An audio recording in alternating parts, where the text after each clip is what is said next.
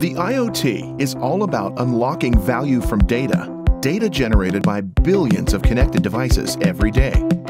For companies that effectively tap into that data, the IoT offers an unprecedented ability to make smart, real-time decisions that save you time and money while building stronger customer connections.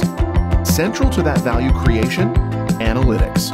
IoT analytics is the process by which connected data is captured, contextualized into a unified view, and analyzed to extract meaningful insights which means that a sound IoT innovation strategy must begin with an understanding of the role analytics will play.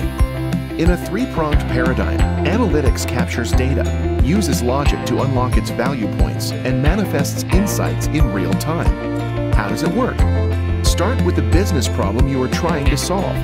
Next, bring together historical and connected data that describes the problem in the past or present. Then apply different types of logic depending on the kind of questions you are asking of that data. The answer to those questions will come from the application of logic to data. This, in turn, produces actionable insights.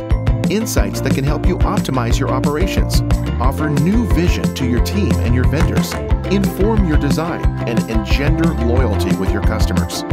Like a diamond shaped from raw ore to priceless jewel, the value of IoT data is only realized through the shaping and polishing work of analytics.